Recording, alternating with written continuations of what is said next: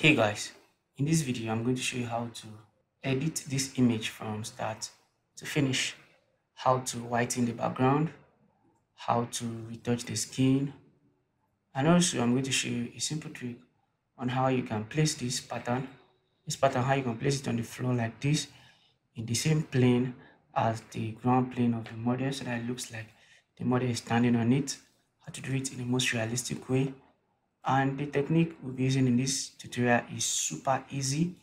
Anyone can follow along and try getting amazing results on their retouching so watch this video all the way to the end to learn new tip tricks that will help improve your editing in general. No further ado let's get started.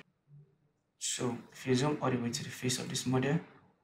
Uh, you can use your spot healing brush to remove any pimples on her face spot healing brush select it.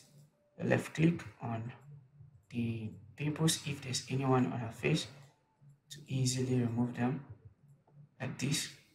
Next thing we can do we can retouch the skin. We're going to use the AutoFix FS action for that. So on the AutoFix FS action you click on the play button and voila the action is going to automatically smoothen the model skin while retaining all the texture, retaining the form. It's not going to deform the model. Just goes into smoothing the colors and make the skin look more beautiful.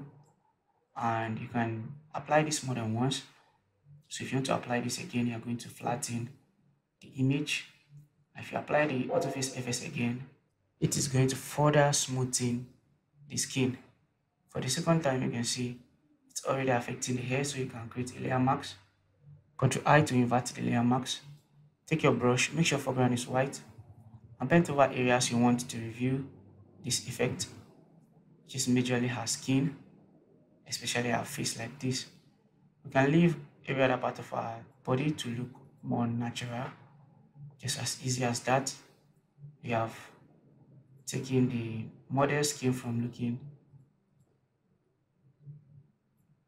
like this to looking like this.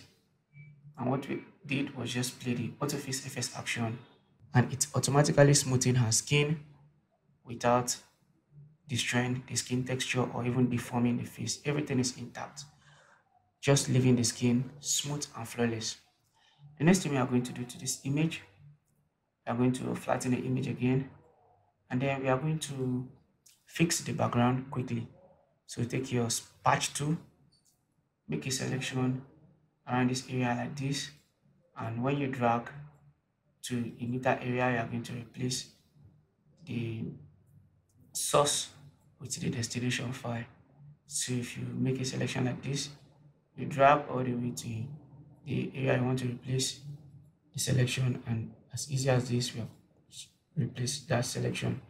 The next thing we are going to do we are going to zoom down to the floor. I'm going to take our patch tool and remove all those big large dates like this is very easy to do.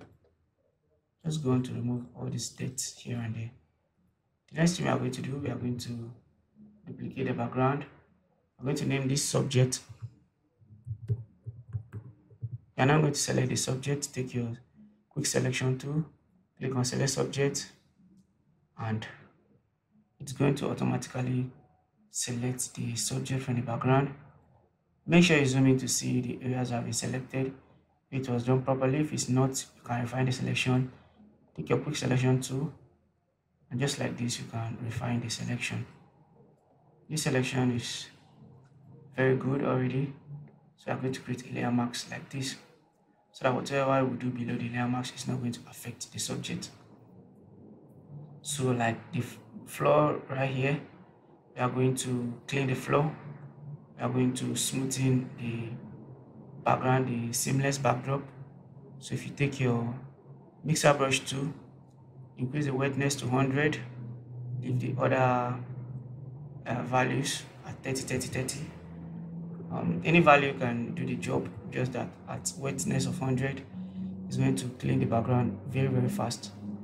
So if you are brushing and you're not seeing the same result as I'm seeing, then make sure this is ticked Clean the brush after each stroke and make sure this current brush load is a transparent layer like this. So you click on the click the clean the brush after each stroke. So now we are going to paint. Are going to brush the background like this and with that we are going to easily clean the background. So I will brush if you mistakenly brush into the skin. If you mistakenly brush into the model, not going to affect it because you have selected it from the background. So as easy as this, we have cleaned the background.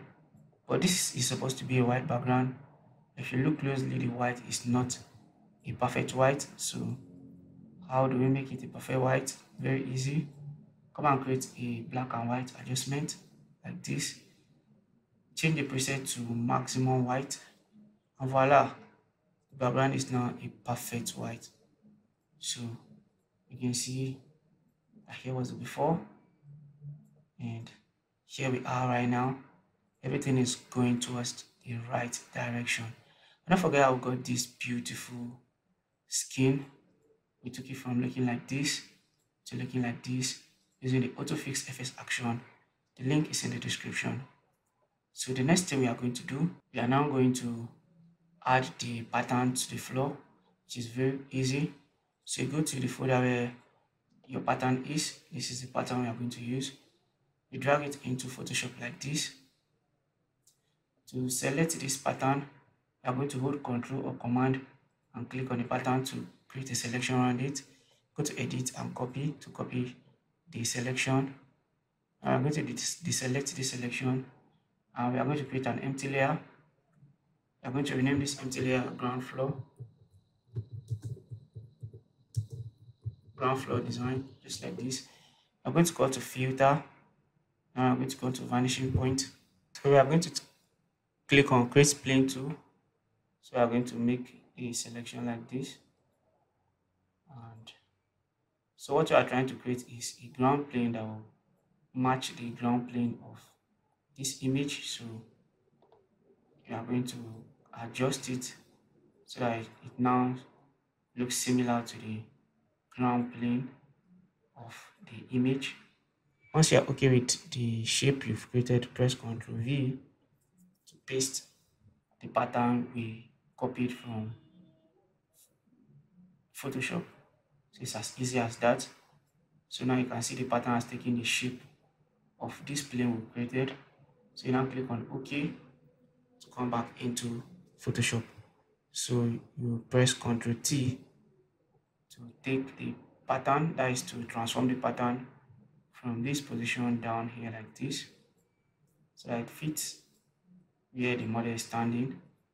And you are going to drag it down like this so that the it's going to stay below. If you press Ctrl T again, you can resize this shape and move it so that the model is standing on it. When you're okay with what you've done, change the blend mode to multiply. Now you're going to press Ctrl I to invert this selection. So it's now looking exactly as we'd want it. You can reduce opacity so that it's going to fade into the background and look more realistic. It's very easy. If you've learned anything new, please smash the like button right now. Now we are going to add some glues to this model. To do that, we are going to create a layer, new layer. Are going to change the blend mode to overlay, fill with overlay neutral color. Click on OK. Up to your channel, click on this icon right here, the selection icon. It's going to select the image like this. Come back to the layer. Take your brush, make sure the foreground is white.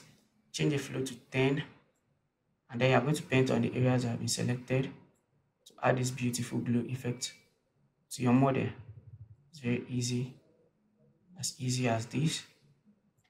You're just going to make the model to pop you're going to make the model skin to pop. So if you've if you've brushed over the model if you brush over the skin you can come to select and deselect. Here was the before and here's the after. Let's zoom in. Here was the before here's the after. We literally added glow effect to the skin and make her to pop more. As easy as this don't forget you can adjust the opacity now we are going to create a stamp visible layer Control Shift Alternate E. And we are going to go to filter, we are going to go to camera raw filter. Set the camera raw filter, we can adjust the temperature and the tint of the image. We can also give we can also make basic adjustments by increasing the exposure, bringing down the highlights. You can also darken the image and add a little bit of contrast. Here's the before and here's the after. Now click on OK to come back into Photoshop and reduce the opacity of this. You can see that everything is looking very great already. Look at the skin, just look how naturally retouched it is. Why this was before, see how rough the skin is. Here's the after, it's now looking amazing. And all that was done using just one click. The AutoFix FS action link is in the description. See how we place this pattern on the floor. See how we place it and it's now looking like it was originally on the floor during the shoot, but it was placed right in Photoshop using the vanishing point filter. And if you learned anything new, please smash the like button. Finally, we can come to filter, liquify so that we can liquify some parts of the model's body. Nothing much, just make sure you selected the forward warp tool and then you are going to gradually adjust areas of the body that need pushing in like this. You are going to push these areas in and press in and press out. It's very easy and basic. So we are not doing anything much. Don't over liquify the image so that it doesn't look fake. Anytime you are doing liquify, just aim for moderation. So once you're okay, you can click on OK like this to come back into Photoshop.